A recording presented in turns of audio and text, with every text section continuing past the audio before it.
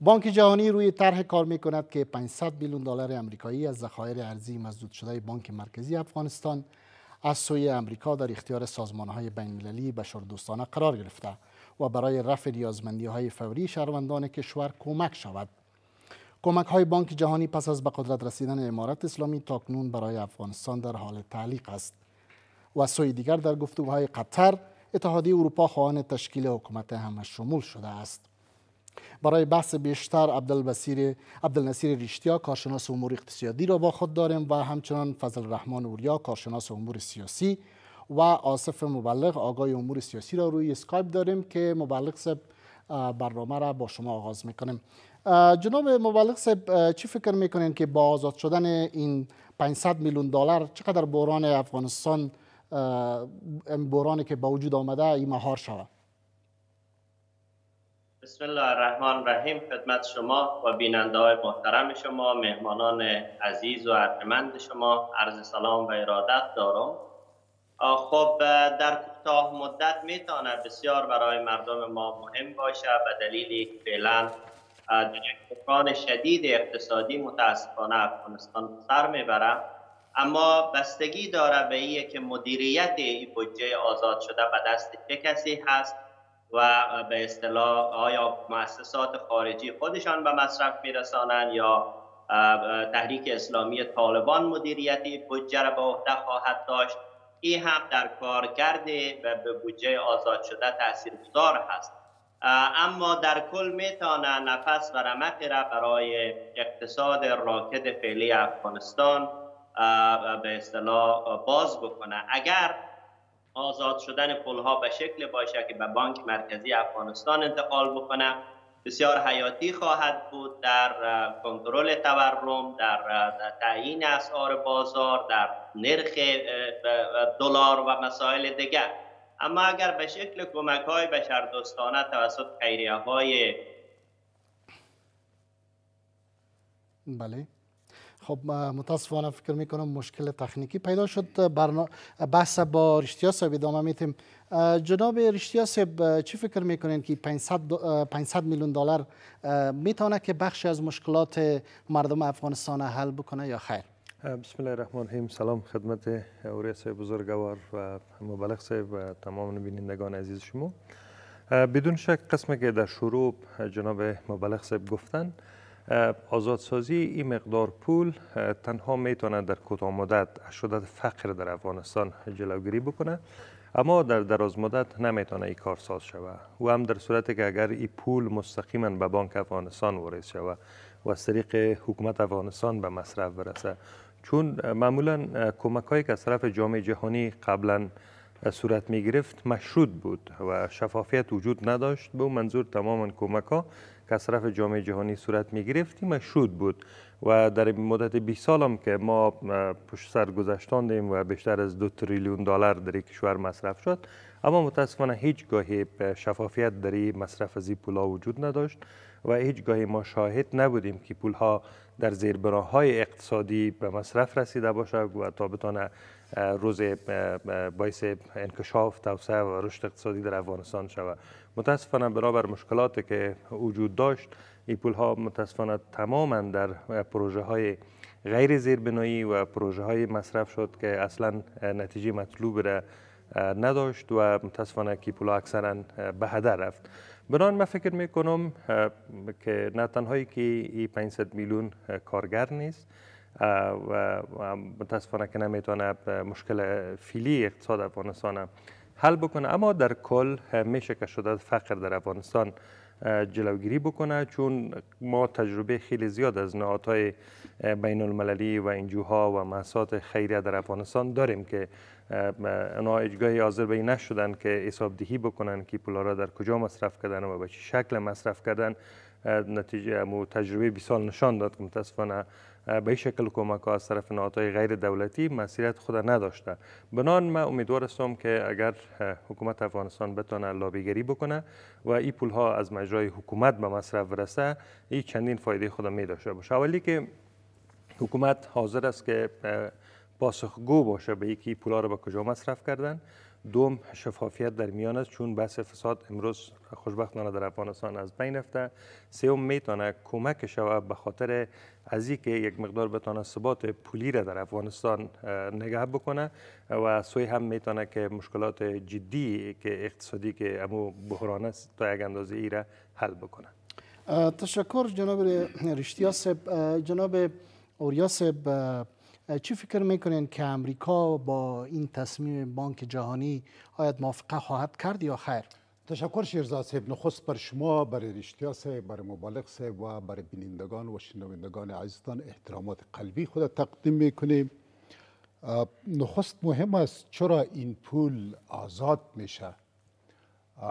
در روز بعد از سقوط یا فتح کابل بانک جهانی اعلان کرد که یک پنج میلیارد دلار سرمایه که با افغانستان جهت بازسازی و رشد پروژه, پروژه های اقتصادی داده شده بود او مسدود است.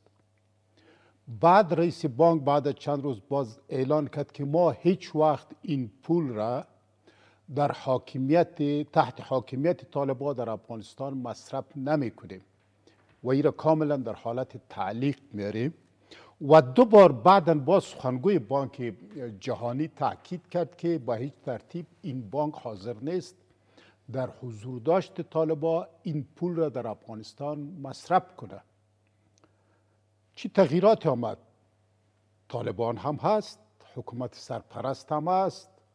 افغانستان که فقیر بودم و افغانستان فقیر و غریب و ویران شده اشغال هم هست. تغییراتی میه که بانک جهانی حال اعلان می‌کنه که ما 500 میلیون دلار میتیم. خب یک مراحل داری داره که او را معمولا باید طی بکنه.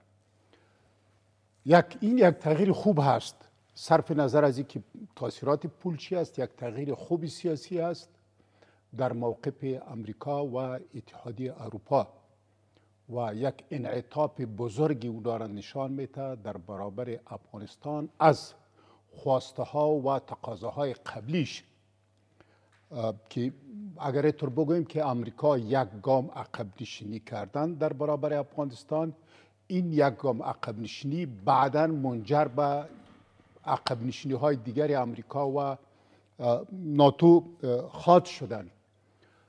قرار است که این پول را بانک جهانی با سازمان ملل متحد یا به نهادهای بین المللی بته که در عرصه خدمات صحی در افغانستان مصرف شود اما بدون نظارت.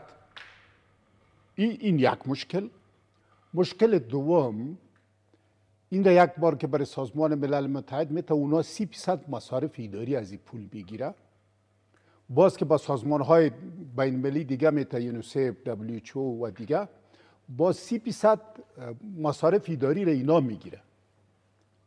که از این 500 میلیون 50 60 درصد به حساب ماش و مصارف اداری مصرف میشه تا که با افغانستان و به اینجوهای و مؤسسات خیری محلی می‌رسه. و برای مردم افغانستان در حدود 200 یا 200 میلیون میمانه که هم اگر پساد نکنه اینا که در گذشته اینا سابقه پساد هم داره. اوریاس یعنی دید شما ای است که از مجرای دولت باید این مصرف شوی ما عرض می‌کنیم بله. ما می‌خوایم که تصمیم بله. ایناست تصمیم یا می تصمیم گرفتن می‌خوایم بله. با می تصمیم اینا را بحث بکنیم در نتیجه با 200 یا 200 میلیون دلار با با عرصه خدمات صحی ما می‌رسه که این عیب کار اینا هستن که این پول در اختیار ارگان های قرار میته و خودش ادعا می‌کنه که بدون نظارت ما نظارت هم نمی‌کنیم یک قسمتش پساد میشه قسمت های دیگرش با مصارف اداری نابزود میشه و یک چیز ناچیزه برای مردم افغانستان او هم در عرصه خدمات صحی می‌رسه. این مشکلات است این پرابلم است. مگر باز هم همی دونیم صد میلیون دلار که با مردم ما می‌رسه این از هیچ کده خوب هست یک مجده خوبی است. با تعقیبش عقب نشینی های دیگه صورت می‌گیره.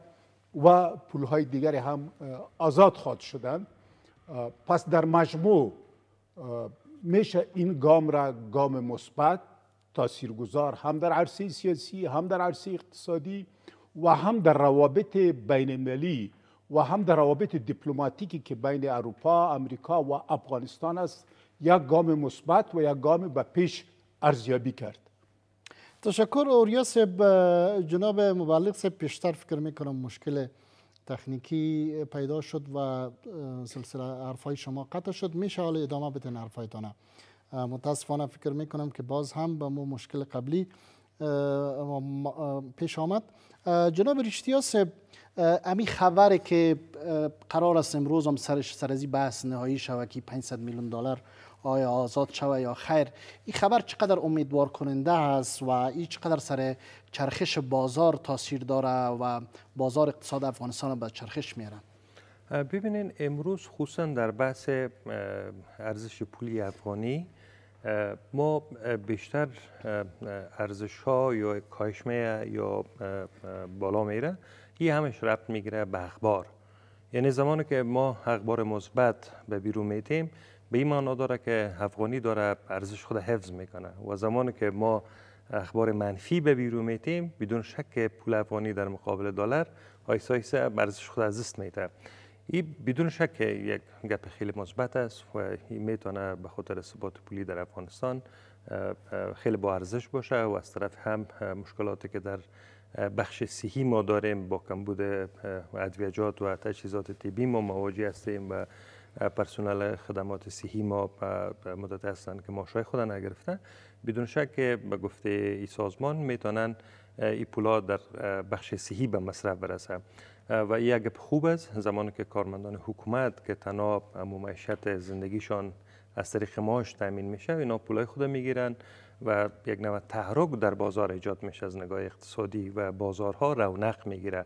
و به می شکل من امیدوار هستم که این یک بحث عقب نشینی جامعه جهانی نباشه یک بحث تعامل باشه و یک بحث هم دیگر پذیری و درک مشکلات افغانستان از طرف جامعه جهانی باشه و باب گفتمان باز شود و هر قدر بیشتر ما میریم به طرف مذاکره و مفاهمه و آنچه را که جامعه جهانی از ما انتظار داره و آن چیزی را که ما تعهد کردیم به جامعه جهانی آیسا آیسا میریم به او عمل می‌کنیم. بدون شک دنیا مجبور است که با ما کنار بیایه و یک بار دیگه که کمک هایشان اثر بگیره چون اقتصاد افغانستان متاسفانه متکی به کمک های جامعه جهانی است و زمانی که این کمک ها قطع شد شما دیدین که ما اقتصاد افغانستان حرکت کرد به بحران و به عمق فاجعه رفت و بیشتر مردم افغانستان نیازمند کمک های جامعه جهانی شدن که از یک طرف زمستان سرد و مشکل را پیش رو داریم از طرف دیگه وضعیت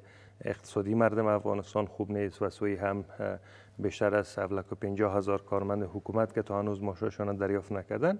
به این منظور بود که گراف بیکاری و فقر میره به 97 درصد. البته ما نمی‌تونیم کلی مشکلات و چالش ها را به گردن حکومت فیلی پرتیم. چون این مشکل و چالش های اقتصادی و بحران های اقتصادی اینا حاصل و یا میراث حکومت های قبلی است.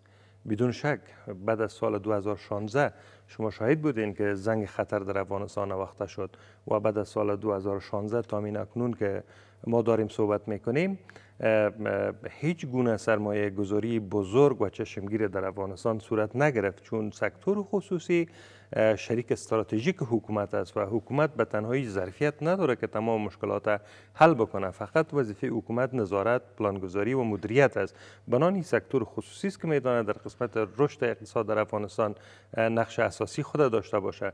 بنان من فکر می‌کنم که اگر هر قدر بیشتر ما بریم به طرف تعامل با جهان به مو پیمانه با میریم به طرف رفاه و امروز در قیمت ها یا در نرخ نفت در تیل و گاز دیده شد که خیلی قیمت ها پایین آمده بود امروز. آیا دلیلش همین خبر شده می‌تونه؟ این موضوع 500 میلیون دلار است یا کدام مورد دیگه جهانی هستن؟ دقیقا ببینید گپا آیسا من فکر می‌کنم به طرف بهبود شدن روان است. قسم که پیشتر من گفتم که قیمت ها و ارزش افغانی در مقابل اسعار خارجی حالا ربط می‌گیره به اخبار که چقدر ما اخبار مثبت میتیم و چقدر ما با جهان کنار میم و جهان با ما کنار میه. خودش تاثیرات خیلی مثبت بالای فعالیت اقتصادی در افغانستان داره. تشکر. اوریاس جناب ریشیاس گفت که بحران فیلی میراث های حکومت قبلی از دیدگاه شما در مورد دید ریشیاس چی هستند واقعا 20 سال اشغال در افغانستان حضور 20 سال اشغال در افغانستان یک افغانستان ویران شده را به حکومت جدید با ارث مانده و یک مردم فقیر غریب و گرسنه را و بیکار به حکومت جدید با ارث مانده. در 20 سال گذشته ما 3 میلیون بیجا شده داخلی داشتیم و در 20 سال گذشته ما 4 میلیون مهاجر داشتیم و در حدود 3 میلیون هم معتاد داشتیم و دها و پاسترین حکومت دنیا داشتیم. این همش میراث اشغال بوده و دها موارد دیگری. و حال تا دیروز امریکا پابشاری می‌کرد که ما یک افغانی افغانستان یک دلار افغانستان آزاد نمی‌سازیم تا که طالبا در حاکمیت باشه. امروز داوطلبانه 500 میلیون دلار افغانستان آزاد می‌سازه به خاطر کمک با مردم افغانستان. این حقانیت افغانستان نشان میده. این حقانیت دولت افغانستان نشان میده. و این نشان میده که همه خواسته های مردم افغانستان مشروع بوده و خواسته های جانب امریکا نامشروع بوده. و غالب می‌بینیم که گام به گام از خواسته های نامشروع خود عقب نشینی می‌کنه. در شرایط کنونی قسم که اینا مذاکرات آغاز می‌کردن در دوحه می‌گفت که ما روی منافع حیاتی خود هم اروپا می‌گفت و هم امریکا می‌گفت مذاکره می‌کنیم. یعنی در افغانستان منافع حیاتی هم اروپا نهفته است و هم امریکا نهفته است. و هیچ وقت امریکا و اروپا نمی‌تونه با زور با جبر با استبداد با تحریم با فشار خواسته های خود بالای مردم افغانستان تحمیل بکنه. پس بهترین را این هست که امریکا و اروپا وارد تعاملات مثبت با افغانستان شود و روابط حسنه ایجاد شود در روابط حسنه مناسبات مثبت دیپلماتیک هم منافع امریکا را هم منافع کشورهای اروپایی را و هم منافع مردم افغانستان را تأمین می‌کنه. در غیر از او خشونت هر قدر امریکا ادامه بده این شک نیست مردم ما متضرر شده و متضرر میشه. مگر اصلی متضررین اصلی امریکایی ها و اروپایی ها خود بودن و در نتیجه جایشان هم در افغانستان مخالفین بگویم رقیبای استراتژیکش پرخواد کردن که باز هیچ وقت همی چانس از دست میده که با افغانستان برگشتن نمی‌تونه. و حال که می‌بینیم سیاست خارجی افغانستان یک سیاست بسیار زیباست یک سیاست اقتصاد محور هست و یک دیپلماسی است که با همه کشورها می‌خواهد روابط دیپلماتیک داشته باشه. به شمول امریکا حتی برای امریکا نمیگه تو 20 سال اینجا جنایت کردی. تو 20 سال کشور ما را ویران کردی. ما از تو باید غرامت بگیریم تو باید غرامت بپردازی. مگر این گپا را برش نمی‌زنه برش میگه بیا که ما تو دوست شویم روابط دوستانه داشته باشیم داد و ستد سیاسی و اقتصادی و اجتماعی داشته باشیم. این یک پالیسی مثبت هستند و امریکا ما فکر می‌کنیم در نتیجه دیر نخواهد بود که تمام دارایی های افغانستان آزاد کنه آزاد می‌کنه. و در پهلویش تمام حقوق مشروع مردم افغانستان به رسمیت خواهد شناخت. تشکر اوریاس جناب مولق به شما برمیگردیم. میشه که ادامه بدین صحبت هایتانم صدای من میشنوید؟ بله بفرمایید. خدمتتان ارز کنیم من به اندازه جناب اوریا مثبت اندیش نیستم. نمی‌تونم متاسفانه به این اندازه خوشبین باشم. به دلیل ای که ما نیازمند جامعه جهانی هستیم. بله نیاز متقابل ممکن هست وجود داشته باشه اما امروز فقری که در افغانستان بیداد می‌کنه اثبات می‌کنه که ما چقدر نیازمند به جامعه بین المللی هستیم. آقای عباس استانکزی دست و دعا برمیداره که آمریکایی ها برگرده به افغانستان و مسائل عدید است. بنابراین من فکر می‌کنم ما صادقانه در قبال مسائل افغانستان نظر بدیم. به امارت اسلامی مشوره بدیم. ما در نقطه بحران قرار داریم. ما در نقطه بحران مشروعیت داخلی قرار داریم. در نقطه بحران مشروعیت بین المللی قرار داریم. آزادسازی 500 میلیون دلار فقط به خاطر کمک های بشردوستانه هست و اروپایی ها در قطر شرط کردند که اگر ما حضور پیدا می‌کنیم در افغانستان به مفهوم شناسایی امارت اسلامی افغانستان نیست بلکه صرفا از طریق نهادهای بین المللی کمک های بشری را به خاطر عدم قحطی و رفع قحطی در افغانستان می‌خواهیم ادامه بدیم. ما در یک بحران بسیار شدید قرار داریم. گروه های زیادی از بدنه طالبان در حال جدا شدن هستند. مجموعه های زیادی از اپوزیسیون ها فعلا در مقابل طالبان قرار دارند. ممکن هست فعلا حضور میدانی نداشته باشند. اما نارضایتی های اجتماعی برای اونا میدان را هم فراهم خواهد کرد. بنابراین من فکر می‌کنم که سنجیده تر و با دست به اساتر باید حرکت کرد. در تحلیل های ما باید یک مقدار جانب انصاف و احتیاط را رعایت بکنیم. من خوشحال هستم که طالبان با آمریکایی ها با اروپایی ها با, با کشورهای دیگه مذاکره می‌کنن. اما بحثی هست که ما نیازمند برداشتن گام های عملی هستیم. ما باید بیاییم روی مسائل کلان با جامعه بین الملل مشکلات خودمان را حل بکنیم. بحث را که آمریکایی ها مطرح می‌کنه بحث القاعده هست مبلغ شما از گام ها صحبت می‌کنین کدام گام ها باید برداشته شوند ببینید اعتماد سازی اولین قدم در جامعه بین الملل هست. اعتماد سازی در جامعه بین الملل و در جامعه افغانی. در جامعه افغانی طالبان باید اثبات بکنه که بعد از قولایی را که میده قولای تاکتیکی نیست. واقعا به او باور دارم مثلا حقوق زنان مثلا حق تحصیل زنان حقوق اقلیت ها حقوق مذاهب دیگر باورمندی به عدالت اجتماعی. مسائل را که در پشتپه جوزجان اتفاق میافته خلاف این شعارها هست. بنابراین ما شعارهای تاکتیکی را لازم نداریم. ما قدمهای عملی را لازم داریم. گام هایی را که در دایکندی برداشته شده از زمین مردم از دستشان گرفته شده اینا خلاف شعار هست. و یا عملا ما و شما می‌بینیم که بخش های زیادی از خانم هایی که در ادارات مشغول به کار بودن امروز مشغول به کار نیستن نشان میده که آیا اگر طالبان بخواهد که جامعه بین الملل و مردم افغانستان را فریب بده و با شعار تاکتیکی پیش بره به جای نخواهد رسید. ما دیالوگ بین الافغانی در دو حد دوچار مقاطعه شد با فرار خفتبار آقای اشرف غنی احمدزی باید بیایم با اقوام افغانستان با طرفهای افغانستان با جهتهای سیاسی بحث بکنیم. به یک نظامی که برخواسته از دل شور سیاسی افغانی ها و افغانستانی ها باشه. برسیم و بعد از او به اصطلاح بیاییم میثاق ملی ما که اما قانون اساسی باشه نوع نظام باشه را تعیین بکنیم. بعد نسبت خودمان را با دنیا مشخص بکنیم. واقعا امروز موضع گری گروه طالبان نسبت به القاعده چی هست؟ من دیروز در یک بحث تلویزیونی با آقای سمنگانی بودم. من میگم که روزنامه های کلان دنیا العربیه لانگوار و یا جاهای دیگه گفته که آقای احسان الله بریال عضو بر فعل القاعده هست. شما به من جواب بدین راست میگن یا دروغ؟ اگر دروغ میگن اثبات بکنید اگر راست میگن شما دیدتان نسبت به القاعده واقعا چی هست؟ آیا اونا رو برادران مجاهد اسلامی می‌دانید تروریست می‌دانید خوب می‌دانید بد می‌دانید؟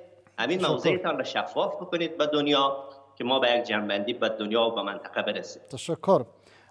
جناب جناب اوریا سب مبلغ سب گفتند که وضعیت فعلی خیلی افغانستان در یک بحران شدید قرار داره و قرار است گروه های توریستی در حال گسترش است. دید شما در مورد گفته های آقای مبلغ چی است جناب اوریا تشکر. سوال زیبا است. با خودم در مقدمه گفتیم که اینجا فقر وجود داره. زمانی که اشغال پایان رفت میافت 90 درصد مردم افغانستان زیر خط فقر بوده و مسلما 90 درصد محصول اشغال بوده را به یک مثال میگم یعنی اشغال با همه پول و دارایی هایش 90 درصد مردم افغانستان زیر خط فقر بودن یعنی یک بحران در موجودیت اشغال وجود داشت و حال مسلما سه یا چهار یا پنج فیصد با این مشکل دیگه ما افزوده شده. ممکن است سال 94 95 فیصد مردم افغانستان زیر خط فقر باشه. که این هم محصول تحریم های امریکاست. یعنی مردم افغانستان اشغال و تحریم های امریکا 95 فیصد زیر خط فقر بردن. این عامل اصلی و اساسی است. علاوه حدود یک میلیون افغان زندگی زیبای خود در نتیجه اشغال از دست داده. میلیون ها طفل یتیم و میالی داریم. میلیون ها بیوه داریم. و هزاران هزاران مشکل دیگری از اشغال بر ما باقی مانده به شمول یک افغانستان ویران شده. که سر از این نمی‌تونیم چشم پوشی بکنیم و ما بلندگوهای غربی را که چی بگوید چی نگوید برای ما میار نیست. ما هر روز واقعیت های جامعه خود لمس می‌کنیم و درک می‌کنیم و می‌بینیم و این مردم افغانستان در بحران قرار داده شده با بحران برده شده در بحران حفظ شده این کار که کرده این کار امریکا کرده و متحدینش کرده. خب ما چی وقت می‌تونیم که از این بحران نجات پیدا بکنیم؟ که این علت مرفوع شود این علت رفع شود جنگ گرم امریکا ختم شد. حال جنگ سرد امریکاست جنگ سرد امریکا پول تحریم می‌کنه تبلیغات می‌کنه جنگ روانی می‌کنه در داخل افغانستان ترور و انفجار می‌کنه. این را باید امریکا متوقف بسازه. وقتی که یا متوقف شد آن بیستر و زمینه فراهم میشه که افغان ها رو آیسته آیسته با طرف زندگی بیتر گام برداره. اما میایم سر گروه های تروریستی همه گروه های تروریستی که در اینجا اگر وجود داشته باشه که سر بالا کرده نمی‌تونه که اگر سر بالا کنه سرش حکومت می‌زنه و از بین میبرشه. به نحوی از آنها از غرب آب می‌خوره. هیچ گروه تروریستی را شما در جهان پیدا کرده نمی‌تونید که به نحوی از آنها به غرب یا به امریکا یا به انگلیس یا به یک کشور دیگری وابسته نباشه. که ما پیشتر گفتیم ترور می‌کنه انفجار می‌کنه به نحوی از آنها در این ترور و انفجار گروه های نیابتی پیدا می... چی می‌کنه؟ ایجاد می‌کنه ترند می‌کنه تربیه می‌کنه. در امریکا دست داره. مگر من درک من این هست که طور که امریکا با 150 هزار قشون نظامی شکست استراتژیک خورد به حساب خودش و فرار کردن. این گروه های نیابتی و این گروه های تروریستی در اینجا مجال نفس کشیدن پیدا نمی‌کنه یک میم سر حکومت هم شمول در دنیا زیاد حکومت ها بر بنیاد انتخابات به وجود میاد. در دنیا هیچ کشوری را برای ما پیدا کرده نمی‌تونین که یک حزب یک شخصی در انتخابات اکثریت ببره باز بره رقیبای سیاسی خود جمع بکنه و حکومت و دولت و قدرت هم رش تقسیم بکنه. به شمول امریکا حزب دموکرات قدرت گرفت. تمام قدرت به شکل انحصاری در دست حزب دموکرات است. تمام قدرت متمرکز است در دست جو بایدن. برای ترامپ هیچ چیزی نداده. کدام وزارت برش نداده. کدام ولایت برش نداده. برای حزب مقابلش انحصار حفظ می‌کنه. در ایران می‌بینیم در پاکستان می‌بینیم در هندوستان می‌بینیم در ترکیه. ترکیه مثال زنده ماستن تمام قدرت در دست آقای اردوغان و حزبش است. چرا؟ به خاطر که در انتخابات برنده شده. در افغانستان هم که 20 سال جنگ و جهاد شده و 20 سال جنگ و جهاد آزادی بخش در نتیجهش یک حکومت سرپرست به وجود آمده. در دنیا در حدود 90 کشور 90 دولت هست و در حدود 90 کشوری هستند که در نتیجه جنگ های آزادی بخش به وجود آمده. و تمامی از یا به شکل انحصاری قدرت سیاسی را در دست داشت و همه جهان هم اونا را به رسمیت شناخته. حال این بسیار مزحک است. یک سازمانی که 20 سال جنگ کرده جهاد کرده می قدرت سیاسی را می‌گیره استقلال و تمامیت ارزی را تأمین می‌کنه. یکی دیگه که دیروز غلام و برده امریکا بوده برای صدا می‌کنه که برای ما هم سهم بدیم برای ما هم نقش بدیم این ممکن نیست. حکومت کنونی در همین منطقه ما مشروعیت خدا از جنگ ها و نبرد های آزادی بخش سنگرهای آزادی بخش می‌گیره و در داخل افغانستان در منطقه مشروعترین حکومت هست. اما مشروعترین هست همه شمول هست. اما نیاز هست که مشروعیت بیشتر شوه همه شمول بودن گسترش پیدا بکنه کادرهای جدید جذب شوه نیروهای جدید جذب شوه. این کار میشه. اما این برای یک پروسه نیاز داره. شما در, در, در طول سه ماه دیدیم بسیار تغییرات آمد. هم در تشکیلات هم در خیلی گپا. در یک سال در دو سال بیترین کدرهای جامعه در این حکومت می باشه. بیترین متخصصین شاید از خارج دعوت شوه و خودشان تشریف بیاره. در حکومت حضور داشته باشه.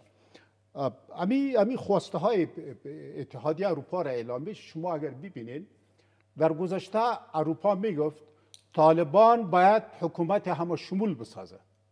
همین جمله را امریکا هم تکرار می‌کرد اروپا هم.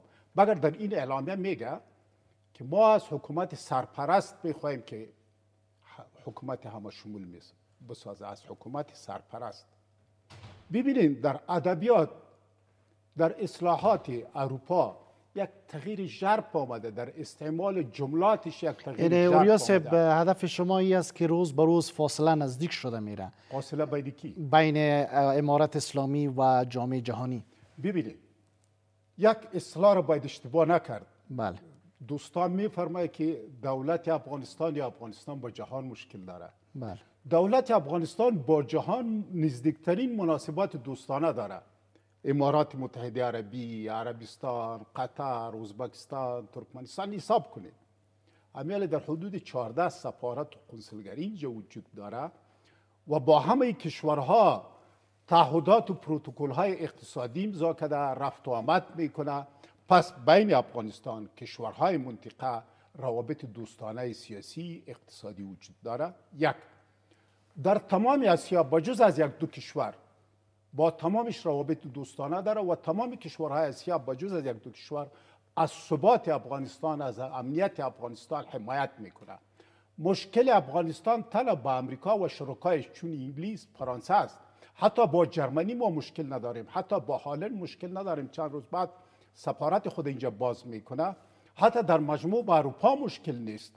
نمایندگیش در اینجا فعال است دفتن اما حال ما می‌بینیم که مشکل ما تنها با کیست؟ با امریکاست. امریکا کیست اشغالگر بوده اشغال کردن مگر حال افغانا برش میگه بیا برادر. می‌تونی در نقش در نقش در بازسازی افغانستان نقش داشته باشی. در تغییرات و تحولات مثبت افغانستان نقش داشته باشی. در تغییرات و تحولات اقتصادی البته. خب بر این بنیاد من فکر می‌کنیم که این مشکلاتی که افغانستان و امریکا داره اساسی است و این گام با گام حل میشه. مگر این با معنی نیست که ما دیگه در جهان مشکلات دیپلماتیک نداریم؟ هست. هنوز افغانستان به رسمیت شناخته نشده. دولت جدید به رسمیت شناخته نشده. مگر گام های اساسی استوار در این جهت برداشته شده و گام های بعدی هم برداشته میشه و دور نیست آن روزی که مناسبات بین امریکا و افغانستان به حالت عادیش برگرده. تشکر اوریا صاحب. جناب رشتیا صاحب چی فکر می‌کنین که بحران و سقوط اقتصادی افغانستان چقدر نگران کننده هست و فروپاشی اقتصادی خدا نخواست اگر فروپاشی اقتصادی و میان بیاد در افغانستان منجر به چی خواهد شده؟ بدون شک وضعیت در حالت بحرانی قرار داره و بیشتر از میلیون ها انسان نیازمند شدید کمک های جهانی هست. فعالیت های اقتصادی کمتر از 50 درصد رسیده. به این شکل توان خرید مردم به شدت پایین آمده. اینا عوامل هستند که متاسفانه ما را یک مقدار نگران ساخته. اما بعد از هر تحول در یک کشور خواهی نخواهی بحران به وجود میه و این تعلق می‌گیره به مدیران حکومت که به چی مقدار می‌تونن این وضعیت مدیریت بکنن؟ اگر مدیریت شوه خوب و اگر نشه متاسفانه که به عمق فاجعه حرکت می‌کنه. ما نمی‌خوایم بیشتر خوشبین باشم و نمی‌خوایم که بیشتر منفیگرا باشم. ما امیدوار با آینده هستم. به دلیل ازی که شما سالهای قبل در این مدت 20 سال شما شاید بدین که بیشتر از 70 درصد بودجه شما به خاطر تامین امنیت به مصرف می رسید و مصارف گذاف دیگه حکومت به نام کدای مختلف به مصرف می رسید که حتی بیشتر از 70 درصد بودجه عادی ما هم وابسته به کمک های خارجی بود و بس فساد خو هیچ کس نمی‌تونه از او چشم پوشی کنه که رئیس جمهور وقت دکتر به شفخانی آمدن و گفتن که 50 درصد از عواید ملی ما دزدی میشه. اینا عوامل بودن که وضعیت اقتصادی ما را یک مقدار زیاد بحرانی ساخته بود. اما بعد از اینکه تحول سیاسی در افغانستان به وجود آمد اولین کار که صورت گرفت از بین بردن فساد بود که امروز خوشبختانه ما در قسمت جمعوری اواید خود که بدون شک بزرگترین چشمه های آیداتی حکومت برای فعلا امو مجرای گمرکات است و جمهوری مالیات است که در این قسمت ما می‌تونیم که حداقل امو بودجه عادی خود از جمهوری اواید داخلی خود تمویل بکنیم. از طرف دیگه خوشبختانه که جنگ ها داره خاتمه پیدا می‌کنه و افغانستان که کشور زراعتی است و بیشتر از 80 درصد مردم افغانستان مصرف زراعت هستند. در سالهای پسین اگر شما شاید باشین جنگ ها و ناآرامی ها در روستاها در قریجات ولسوالی ها و حتی در ولایات سرایت کرده بود. و این تقریبا این ولایات و این ولسوالی ها و روستاها کسان دی مناطق بودند که خود معلد بودند تولید کننده بودند تولید می‌کردند اینا یک بارگی مبدل شدن به مصرف کننده و اینا از روسا کشیدن و به طرف شهر آمدن. بران حال که با آیسته حرکت کردیم به طرف امنیت و ثبات یک مقدار زیاد کمک می‌کنه که دوباره مردمایی که ماجرین داخلی بودن و کسایی که خود معلد بودن به تولید کننده تبدیل شده باشن اینا دوباره حرکت می‌کنن. پس در مناطقشان و دوباره پس به زراعت و کشتکار خود شروع می‌کنن که می‌تونه افغانستان در قسمت کالاهای استراتژیک تولیدش کمک بکنن و افغانستان حرکت بدن به طرف خودکفایی. از طرف دیگه دو بحث خیلی جدی که وجود داره مسئولیت مالی و مسئولیت جانی. در بحث سرمایه گذاری این اصل بسیار مهم است که تامین امنیت. زمانی که یک تجار و یک سرمایه گذار حس بکنه که در کشور مسئولیت مالی داره مسئولیت جانی داره اینا تمایل پیدا می‌کنن که بین در, در کشور سرمایه گذاری بکنن. و تا زمانی که در یک کشور سرمایه گذاری صورت نگیره بس فقر و بیکاری از بین نمیره. قسمی که ما پیشتر اشاره کردم که سکتور خصوصی شریک استراتژیک حکومت است. ببینید بعد از مرحله بازسازی در افغانستان ما بیشتر از 5000 فابریکه احداث کردیم.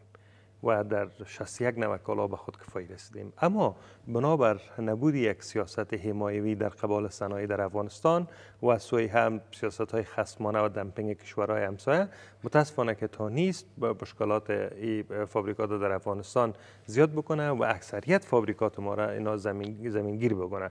خصوصا سیاست های غلط و خصمانه همسایه شرقی و همسایه غربی ما که اینا تا حد زیاد تلاش کردن که مارکت 35 میلیونی افغانستان همیشه در چنگال خود داشته باشند خب حال بحث امنیت تا یک جای حل شده مسئولیت مالی و جانی ایجاد شده مردم تمایل پیدا می‌کنه که بین بیشتر در افغانستان سرمایه گذاری بکنن. اما مشوره ما با امارت اسلامی افغانستانی است که به هر نوع ممکنه سرمایه گذار و تجار باید حمایت صورت بگیره. مثلا ما امروز در افغانستان بیشتر از 42 فابریکه زو داریم. کی فابریکات یا صنایع فولاد در تمام دنیا به نام صنایع مادر میگن که رونق از این تعلق می‌گیره به تمام صنعت در افغانستان. امروز که ما به مواد خام ضرورت داریم که آهنالات کنه و یا داغمجات است. اما ببینید که به لک ها تن آهنالات کنه شما در سپین بولدک قندار برده شده و منتظر فرصت هستند که اینا را به کشور امسای انتقال بتن ما در ابتدا امید خاص و یا خواهش از امارت اسلامی کردیم که اینمی مواد خام من حیث مواد خام امی آنالات کنه من حیث مواد خام به ما به فابریکات ما ضرورت است که ما استفاده کنیم. چون ما بر 5000 نفر به شکل مستقیم و 15000 به 15000 نفر به شکل غیر مستقیم کار ایجاد کردیم. خوشبختانه که در اولین اقدام میره می‌خوایم صادقانه بگوییم که آقای مبلغ نگویه که چرا باز اینا زیاد مثبتگرایی می‌کنن. ما شخصا خودم دو سال در حکومت جمهوریت شب و روز تلاش کردم که جلو قاچاق بگیرم. اما موفق نشدم. در حالی که دو بار مرا منصب رئیس جمهور در جلسه ششونیم خواست. گفت که مشکل چیز ما گفتم چل فابریکه ما داره فلج میشه مزدود میشه اما قاچاق میه. جلو وزیر بگیرین نتونستن. اما بعد از اینکه نظام تغییر کرد در حوالین دیدار که ما با مسئولین امارت اسلامی در افغانستان داشتیم تا یک مکتوب در تمام افغانستان قاچاق آهنالات گرفتن و جلوگیری کردن. خب یک دلگرمی به ما سرمایه گذار است که ما بیشتر کاربار خدا روش بتم و با صدها نفر دیگه منتظرم تا یک فرصت است که این امکانات میاشه و بین داخل افغانستان سرمایه گذاری بکنن. ما باورمن به هستم که ما تا چی زمان وابسته به امریکا باشیم تا چی زمان وابسته به کمک های خارجی باشیم. ببینید تمام کشورهای جهان تلاش می‌کنن که از نگاه اقتصادی استقلالیت خود پیدا کنه امروز چرا هر کدام ما میریم به امریکا زاری می‌کنیم؟ چرا ما به توجه به تولید نمی کنیم چرا ما بیشتر زمینه های سرمایه گذاری در کشور مهیا نمی سازیم بنان من میگم اگر امارات اسلامی افغانستان از فابریکات که در افغانستان بیشتر از 5000 فابریکه است و بیشتر از 3.5 لک انسان در این فابریکا کار می‌کنن جدی حمایت بکنن و سیاست های مایوی خود اعمال بکنن نگذارن که مواد خامشان به بیرون برن. مردم سرمایه گذاری می‌کنن دیگه. ما نیاز به امریکا نداریم ما نیاز به اروپا نداریم و ما می‌تونیم خود مشکلات خود حل بکنیم. تشکر جناب ریشتیاس جناب مبلس وقت برنامه ما خیلی کوتاه است. یک دقیقه وقت دارین. جناب وریا صاحب گفتن که ما واقعیت های جامعه را لمس می‌کنیم و این بحران های شدید را امریکا ایجاد کرده. دیدگاه شما در مورد صحبت های اوریا صاحب چی است؟ بفرمان یک نکته جناب اوریا گفتن که در هر کشور وقتی حزب بدل میشه اعضای حزب خودش را میگمارن. ما می‌خوایم بگیم فرق داره. فعلا تمام افغانستان سیستمش که ما تغییر دادیم. فعلا بیرق افغانستان معلوم نیست قانون اساسی افغانستان معلوم نیست نوع نظامش معلوم نیست. سیستم که شما بحث می‌کنیم طبق یک مکانیزم میآید تغییر می‌خوره و در اون سیستم ها از هر مردم هستند. اینطور نیست که تک حزبی باشه تک قومی باشه و تک جنسیتی باشه. فعلا گروه طالبان به عنوان یک واقعیت افغانستان که اکثرا از قوم شریف پشتون هستن مورد شما هست. اما خالیگاه های دیگر شما ببینید. شما ببینید که نوع نظام تغییر کرده مشروعیت این نظام از کجا می آید کدام مردم به نظام امارت رای داده به قانون اساسی شما کی رای داده؟ بیرقی که گروه طالبان امروز می‌گذاره بیرق یک گروه هست. بیرق ملی ما نیست. این رسم غلط را نگذارین که هر گروهی که پیروز شد بیرق خودش را به عنوان بیرق ملی افغانستان جا بزنه بنابراین من فکر می‌کنم ما کارهای خانگی بسیار زیادی داریم. از جدیت جناب رشدیا فرمودن من هم خوشحال میشم. خدا کنه یک رژیم یک, یک حکومت با صلابت مقتدر و تندست عدالتگرا با وجود بیاید که ما در هر جای از نقطه افغانستان عدالت را بگسترانه رفاه اقتصادی بیاید جدیت داشته باشه جلوی دزدی را بگیره بحث دیگه وجود داره است که جناب اوریا گفتن که یک افغانستان و ایران به جامعه نه خیر. در دوره مجاهدین افغانستان و ایران شد اما در طی 20 سال ما دستاوردهای خیلی زیادی هم داشتیم. یک سیستم هرچند ناقص اما به وجود آمد. مکاتب ما باز شد دانشگاه های ما باز شد یک سیستم هرچند ناقص داریم ما. سعی کنید که دست داشته های سابقتان را به نام ها و یا به عناوین مختلف از بین نبرید دوستان. اینمی سیستم باید حفظ شود اصلاح شود. اصلاح. نه که شما به نام یکی وابسته به آمریکا بود چی بود چی بود دستاوردهایی را که ما داشتیم ندید بگیرید. فعلا گروه طالبان بر یک سفره مهیای بسیار خوب نشسته. اگر توان مدیریتش را داشته باشه می‌تونه خیلی خوب بهره برداری بکنه اما باید صادق باشه با ملت و جامعه بین الملل نگاه تاکتیکی به این مسائل نداشته باشد. نسبت خودش را با گروه های تروریستی مثل القاعده تشکر. سلامت باشید. تشکر جناب عبدالبصیر ریشتیا کارشناس امور اقتصادی و فضل الرحمن اوریا کارشناس امور سیاسی و همچنان آصف مبلغ آقای امور سیاسی. که در برنامه حضور داشتن و همچنان بینندای عزیز از شما جهان سپاس که تا این دم برنامه در برنامه حضور داشتین. تا برنامه بعدی شما را به خداوند پاک بسپاریم